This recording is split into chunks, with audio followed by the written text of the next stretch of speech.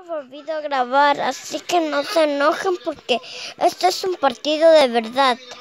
No estoy bromeando ni haciendo ni un chiste. ¿No, mamá? Mamá, responde.